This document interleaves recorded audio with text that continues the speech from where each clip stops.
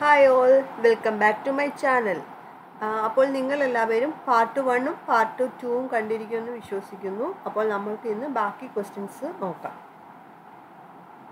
Eleventh question a good description of progressive teacher നമ്മൾ teachers ടീച്ചറിന്റെ characteristics പഠിച്ചിട്ടുണ്ട് teaching styles പഠിച്ചിട്ടുണ്ട്. അതിൽ ഒരു ടീച്ചറാണ് നമ്മുടെ പ്രോഗ്രസീവ് ടീച്ചർ ആ പേരിൽ നിന്ന് തന്നെ നിങ്ങൾക്ക് മനസ്സിലാവും. A progressive teacher should allows flexibility in classroom അല്ലാതെ ഞാൻ പറയുന്നത് മാത്രമേ നിങ്ങൾ ചെയ്യാവുള്ളൂ അല്ലെങ്കിൽ ഏതെങ്കിലും ഒരു കുട്ടി പറയുന്നത് മാത്രമേ ചെയ്യാവുള്ളൂ അങ്ങനല്ല.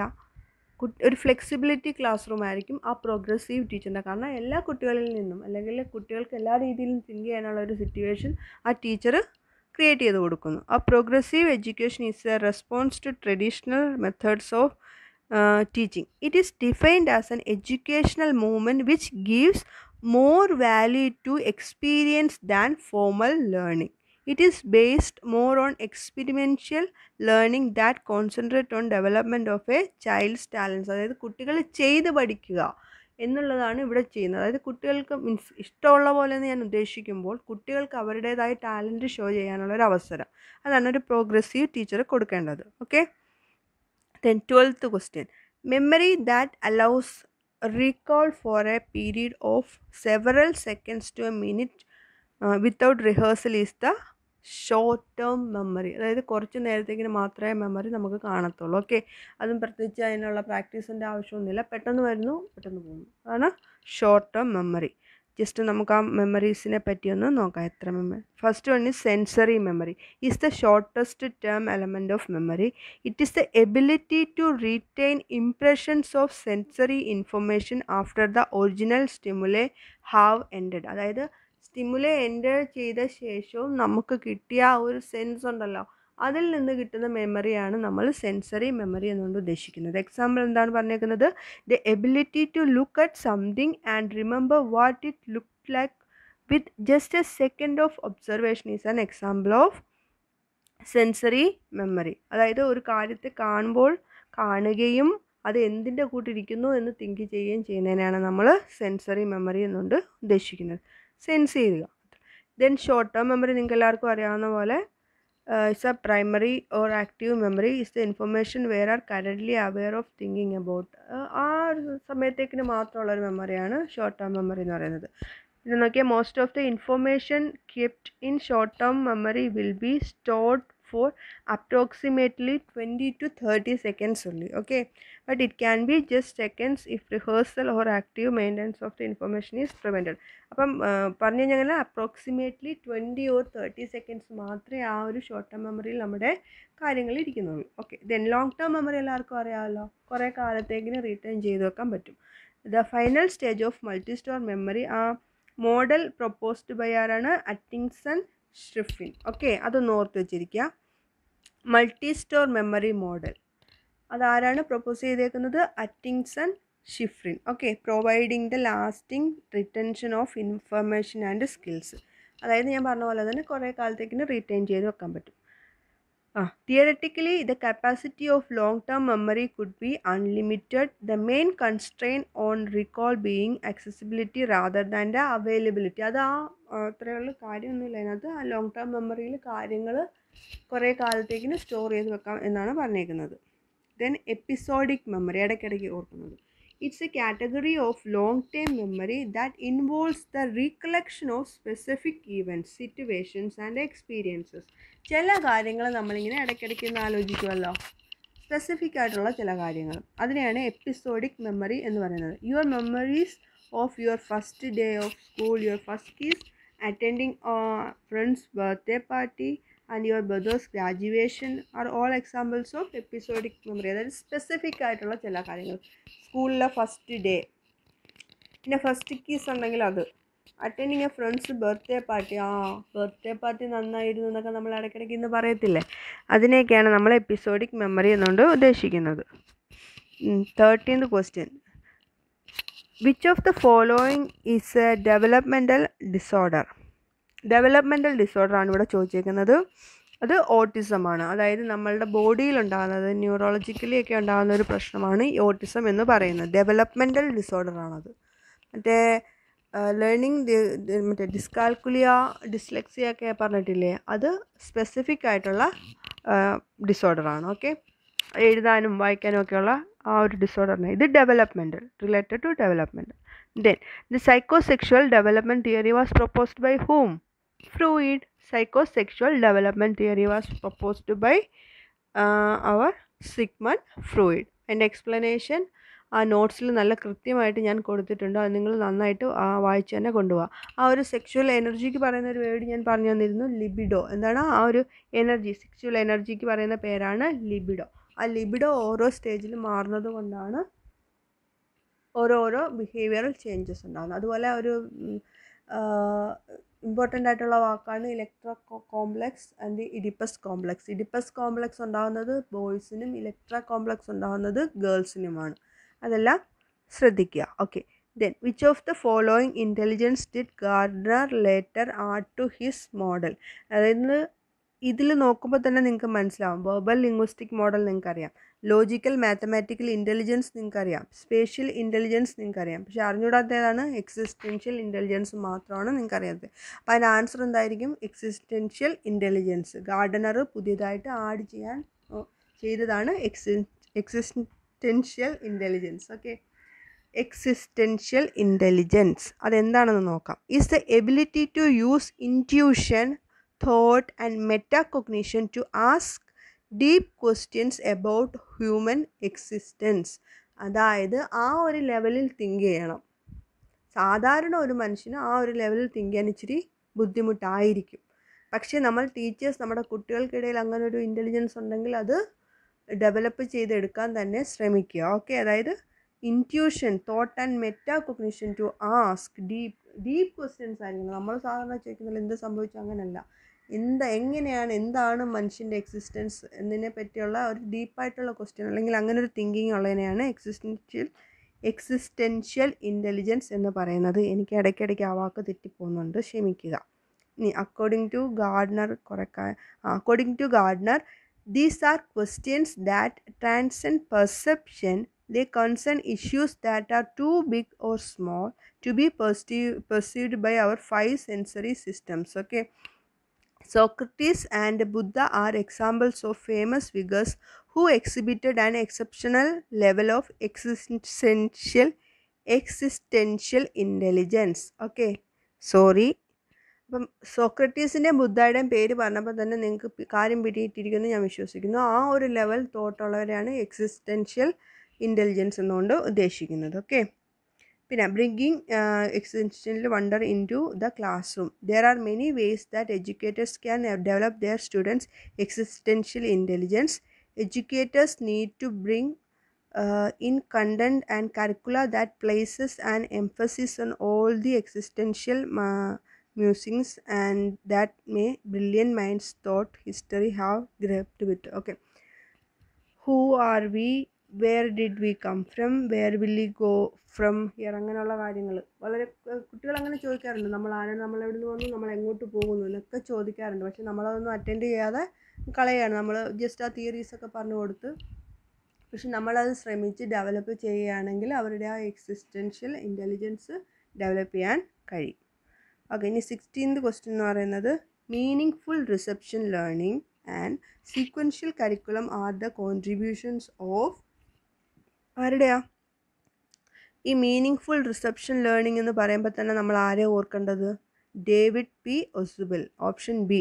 David P. ഒസുബിലിനെയാണ് meaningful reception learning C പിന്നെ സീക്വൻഷ്യൽ കരിക്കുലം കൊണ്ട്. പിന്നെ ഞാനിവിടെ കൊടുത്തേക്കുന്നത് മീനിങ് ഫുൾ ലേണിംഗ് എന്താണ്? റോട്ട് ലേണിംഗ് എന്താണെന്ന് ഞാൻ അന്ന് പറഞ്ഞു തന്നിരുന്നു. മീനിങ് ഫുൾ ലേണിംഗ് എന്നുകൊണ്ട് ഉദ്ദേശിക്കുന്നത് നമ്മളിപ്പോൾ ഒരു കാര്യം പഠിച്ചതിനെ നമുക്ക് നേരത്തെയുള്ള നോളജുമായിട്ട് കണക്ട് ചെയ്ത് പഠിച്ച് മനസ്സിലാക്കി പഠിക്കുകയാണെങ്കിൽ അതിനെ നമ്മളെപ്പോഴും മീനിങ് ഫുൾ ലേണിംഗ് എന്നുണ്ട് എന്നുദ്ദേശിക്കാം ഓക്കെ മീനിങ് ഫുൾ ലേണിംഗ് എന്ന് പറഞ്ഞാൽ നോൺ ആർബിട്രറി ആയിരിക്കും നോർ വെർബാറ്റിം ആയിരിക്കും substantive incorporation of new knowledge into the cognitive structure അതൊക്കെയാണ് ഇതിൽ വരുന്നത് meaningful learning okay learning related to experiences with events or objects നമ്മൾ റിലേറ്റ് ചെയ്ത് പഠിക്കുകയാണെങ്കിൽ അത് നമുക്ക് മനസ്സിലായി എന്ന് തന്നെ നമുക്ക് മനസ്സിലാകും ടീച്ചറിന് മനസ്സിലാവും. ദെൻ റോട്ട് ലേണിംഗ് അതിന്റെ എല്ലാം opposite learning not related to experience with events or objects ചുമ്മാതെ പഠിക്കുക. ടീച്ചർ പറഞ്ഞു കൊടുക്കുന്നു. അതുപോലെ തിരിച്ചു പറയുന്നു. പിന്നെ ചോദിച്ചാൽ അതറിയില്ല. അതിനെയാണ് ലോ റോട്ട് ലേണിംഗ് എന്ന് പറയുന്നത്. മീനിങ് ഫുൾ ആകുമ്പോൾ നമ്മളത് റിലേറ്റ് ചെയ്ത് പഠിക്കുന്നത് കൊണ്ട് തന്നെ അത് നമ്മുടെ മനസ്സിൽ കാണും. റോട്ട് ലേണിംഗ് എന്ന് പറയുമ്പോൾ നമ്മൾ റിലേറ്റ് ചെയ്യുന്നില്ല. ചുമ്മാ അതങ്ങ് പഠിക്കുകയാണ് no effective commitment to relate new knowledge to the prior learning okay so that's about meaningful and rote learning diagnostic function of teaching does not include diagnostic function of teaching does not include എന്താണ്? Task analysis അവിടെ include ആവുന്നില്ല. Diagnostic എന്ന് പറയുമ്പോൾ തന്നെ നമ്മൾ എന്തൊക്കെയോ check ചെയ്യുകയാണല്ലോ അവിടെ. അതിൽ ടാസ്ക് അനാലിസിസ് വരുന്നില്ല. അപ്പോൾ എന്തൊക്കെയായിരിക്കും ബാക്കിയുള്ളത്? Fixing common criteria for students achievement providing remedial teaching analysis of teaching problems ഇതെല്ലാം ഡയഗ്നോസ്റ്റിക് ഫങ്ഷൻ ഓഫ് ടീച്ചിങ്ങിൽ വരുന്നുണ്ട് ഓക്കെ ഇനിയിപ്പോൾ ഡയഗ്നോസ്റ്റിക് ടീച്ചിങ് എന്താണെന്ന് നോക്കാം. Is the process of discovering individual student abilities need and objectives and prescribing request request learning assessments അതായത് കുട്ടിയുടെ എബിലിറ്റീസിനെ പറ്റി ഡിസ്കവർ ചെയ്യുക കുട്ടിക്ക് വേണ്ടുന്ന രീതിയിലുള്ള ക്ലാസ് റൂം എന്തൊക്കെയാണ് റിക്വസ്റ്റ് എന്ന് റിക്വസ്റ്റ് എന്തൊക്കെയാണെന്ന് ലേണിംഗ് അസസ്മെന്റിന് വേണ്ടുന്ന എന്തൊക്കെയാണെന്ന് കണ്ടുപിടിക്കുക. അതായത് ഡയഗ്നോസ് ചെയ്യുക. ഓക്കെ അതിനെയാണ് ഡയഗ്നോസ്റ്റിക് ടീച്ചിങ് എന്നുകൊണ്ട് ഉദ്ദേശിച്ചത് instructors monitor students understanding and performance before during and after teaching lessons ഇങ്ങനെയുള്ളൊരു ടീച്ചിങ്ങിലെന്ന് പറയുമ്പോൾ എന്താണ്? കുട്ടിയുടെ അണ്ടർസ്റ്റാൻഡിങ് എപ്പോഴൊക്കെയാണ് നമ്മൾ നോക്കുന്നത്? ബിഫോർ നോക്കും ഡ്യൂറിങ് നോക്കും ആഫ്റ്റർ ദ ക്ലാസ്സും നമ്മൾ ഇതെല്ലാം ചെക്ക് ചെയ്യും. പിന്നെ diagnostic teaching refers to a process that enable student to detect understand and correct min misconceptions in their work സ്റ്റുഡൻസിനെ നമ്മൾ ഹെൽപ്പ് ചെയ്യാണ്. ഡയഗ്നോസ്റ്റിക് ടെസ്റ്റൊക്കെ ഇടുമ്പോൾ നമുക്ക് മനസ്സിലാവുന്ന എന്താണ്? നമ്മൾ എന്താണ് തെറ്റായിട്ട് പഠിച്ചു വെച്ചിരിക്കുന്നത്? അല്ലെങ്കിൽ എവിടെയാണ് നമുക്ക് മിസ്റ്റേക്ക് അല്ലെങ്കിൽ തെറ്റ് പറ്റിയെന്ന് നമുക്കതിൽ നിന്ന് മനസ്സിലാവുന്നുണ്ട്. This type of teaching involves a constant interplay between assessment and instruction to evaluate learning abilities and teaching effectiveness respectively ടീച്ചറിനെ സഹായിക്കുന്നുണ്ട് സ്റ്റുഡന്റിനെ സഹായിക്കുന്നുണ്ട്. അപ്പം നമുക്ക് എന്തെങ്കിലും മാറ്റം വരുത്തണമെങ്കിൽ മാറ്റ വരുത്താൻ പറ്റും. ഇനി eighteen eighteenth one a superior teacher is the who one who അതായത് നേരത്തെ ഞാനൊരു പ്രോഗ്രസീവ് ടീച്ചറിനെ പറ്റി പറഞ്ഞു. ഇവിടെ എന്താണ് സുപ്പീരിയർ ടീച്ചർ എന്നുള്ള ഒരു വാക്കാണ് വന്നിരിക്കുന്നത്. എന്താണ് പറഞ്ഞേക്കുന്നത്? Takes an interest in all round development of students superior എന്ന് പറയുമ്പോൾ നല്ലൊരു ടീച്ചർ എങ്ങനെ ആയിരിക്കണം? Give complete time to school അതല്ല. Strictly follows the norms of discipline അതുമല്ല. ഗീവ്സ് ലീഡർഷിപ്പ് ടു സ്റ്റുഡൻസ് അതുമല്ല. പിന്നെ എന്താണ് takes an interest in all round development of the students okay അതാണ് സുപ്പീരിയർ ടീച്ചർ എന്ന് പറയുന്നത്. ഇനി നമുക്ക് കുറച്ച് ക്യാരക്ടറിസ്റ്റിക്സ് ഞാൻ കൊടുത്തിട്ടുണ്ട് ഗുഡ് ടീച്ചറിന്റെ സ്റ്റിമുലേറ്റിംഗ് സ്റ്റൈൽ അതായത് content presents in ways which are interesting and involving uses who humour to help maintain attention reinforces every major point with a meaningful reference stimulating ആയിരിക്കണം ആ ടീച്ചർ എപ്പോഴും. കുട്ടികളെ കൊണ്ട് അല്ലെങ്കിൽ കുട്ടികളെ ക്ലാസ്സിൽ പിടിച്ചിരുത്താൻ രീതിയിലുള്ള ഒരു കഴിവുള്ള ടീച്ചറായിരിക്കണം അതിനാണ് ഇടയ്ക്ക് നമ്മൾ കുറച്ച് ഹ്യൂമറൊക്കെ ആവാം. എപ്പോഴും സീരിയസ് ആയിട്ട് ഇരുന്ന് കഴിഞ്ഞാൽ കുട്ടികൾ ബോറടിക്കും എന്നുള്ള കാര്യം നൂറ് ശതമാനം ഉറപ്പാണ്. Okay then ability to communicate clearly കുട്ടികളോട് കമ്മ്യൂണിക്കേറ്റ് ചെയ്യണം. നല്ല രീതിയിൽ തന്നെ അവർക്ക് മനസ്സിലാവുന്ന രീതിയിൽ തന്നെ കമ്മ്യൂണിക്കേറ്റ് ചെയ്ത് ശീലിക്കണം. ദെൻ അതെന്താണ്? Puts information across in a clear understandable manner വേഗമായിട്ടുള്ള അല്ലാതെ ക്ലാരിറ്റി ഇല്ലാത്ത എക്സ്പ്ലനേഷൻസ് ഒന്നും കുട്ടികൾക്ക് കൊടുക്കാൻ പാടില്ല. Then capable of reducing knowledge to its simplest component simplest വേയിൽ കുട്ടികൾക്ക് കൊടുക്കണം. അല്ലാതെ നമ്മുടെ മുമ്പിലിരിക്കുന്ന കുട്ടികളുടെ ഏജ് അല്ലെങ്കിൽ അവരുടെ മെന്റൽ ആ സിറ്റുവേഷൻ ആ ഒരു ഏജ് അനുസരിച്ച് വേണം നമ്മൾ കണ്ടന്റ് കൊണ്ടു കൊടുക്കാൻ. അല്ലാതെ വലിയൊരു തിയറി കൊണ്ടുവന്ന് കൊച്ചു കൊച്ചു കൊച്ചു കുഞ്ഞിന്റെ മുമ്പിൽ പ്രസന്റ് ചെയ്താൽ ഒന്നും സംഭവിക്കാൻ പോകുന്നില്ല അവിടെ. അതാണ് അവിടെ കമ്മ്യൂണിക്കേഷൻ ഫ്ലോപ്പ് ആവുകയാണ് ചെയ്യുന്നത്. അതാണ്. Relate theory principles and concept to the practical application അതായത് നമ്മൾ എന്ത് പഠിപ്പിച്ചാലും ആ കുഞ്ഞിന് മനസ്സിലാവുന്ന രീതിയിൽ അല്ലെങ്കിൽ ആ കുട്ടിക്ക് അറിയാവുന്ന എന്തെങ്കിലും ഒരു ഇതുമായിട്ട് റിലേറ്റ് ചെയ്യണം. അവന്റെ ഏതെങ്കിലും ഒരു എക്സ്പീരിയൻസുമായിട്ട് അത് റിലേറ്റ് ചെയ്ത് പഠിപ്പിക്കുന്നതാണ് നല്ല കാര്യം. Okay then prepared and organised പഠിപ്പിക്കാൻ നല്ലൊരു പ്ലാനുമായിട്ടായിരിക്കണം ടീച്ചർ വരേണ്ടത്. Okay then knowledgeable in the content area ആ പഠിപ്പിക്കുന്ന ടീച്ചറിന് ആ പഠിപ്പിക്കുന്നതിനെ പറ്റി നല്ല ഒരു നോളജ് ഉണ്ടായിരിക്കണം. ദെൻ ഫ്ലെക്സിബിലിറ്റി ക്രിയേറ്റിവിറ്റി ഓപ്പൺനെസ് ഇതെല്ലാം ടീച്ചേഴ്സിനും ഉണ്ടായിരിക്കണം. അല്ലാതെ ഞാൻ പറഞ്ഞത് മാത്രമേ കുട്ടികൾ പഠിപ്പിക്കാവുള്ളൂ അങ്ങനെയൊന്നുമില്ല changes approach to meet new situation ഇന്നിപ്പോൾ എന്റെ മുമ്പിൽ ഇരുന്ന് പഠിക്കുന്ന കുട്ടികൾക്ക് ഞാൻ പഠിപ്പിച്ചെല്ലാം മനസ്സിലായി കാണും പക്ഷെ നാളെ വരുന്ന ബാച്ചിന് ചിലപ്പം ആ ഒരു മെത്തേഡ് മാത്രം പറ്റത്തില്ലായിരിക്കും. അപ്പോൾ അവിടെ ഒരു ചേഞ്ച് വരാൻ ടീച്ചറിന് മനസ്സുണ്ടാകും changes approaches to meet new situations try new and different ideas periodically ഇടയ്ക്കിടയ്ക്ക് നമ്മളുടെ ആ മെത്തേഡ് മാറ്റാനുള്ള ഇത് വേണം. ഓക്കെ സോ അതൊക്കെയാണ് കുറച്ച് ഗുഡ് ടീച്ചേഴ്സിനുള്ള good good ടീച്ചറിനുള്ള qualities then nineteenth question who views children as active builders of knowledge and little scientist who construct their own theories of the world ആരാണ് കുട്ടികളെ പറ്റി അങ്ങനെ പറഞ്ഞതെന്നാണ് ചോദിച്ചേക്കുന്നത്. എന്താണ്? Active builders of knowledge and little scientist കൊച്ചു ശാസ്ത്രജ്ഞന്മാർ. അല്ലേ? ഞാൻ അന്ന് ഇടയ്ക്ക് ക്ലാസ്സിൽ പറഞ്ഞിട്ടുണ്ടായിരുന്നു. ആരാത് പറഞ്ഞേക്കുന്നത്? നമ്മുടെ പിയാഷെ. പിയാഷയുടെ എക്സ്പ്ലനേഷൻ നിങ്ങൾ കുറേ കേട്ടിട്ടുണ്ട്. പിയാഷെ നമ്മുടെ ഒരു സോഷ്യൽ കൺസ്ട്രക്റ്റീവിസ്റ്റായിട്ട് വരുന്ന ആളാണ്. പക്ഷേ കൂടുതൽ ആരുടെ പേരാണ് നമ്മൾ സോഷ്യൽ കൺസ്ട്രക്റ്റീവിസത്തിൽ ഉപയോഗിക്കുന്നത്? വൈഗോട്സ്കിയുടെ. Okay then twentieth question